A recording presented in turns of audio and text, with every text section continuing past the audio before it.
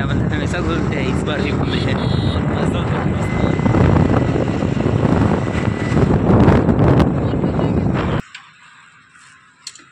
मंदिर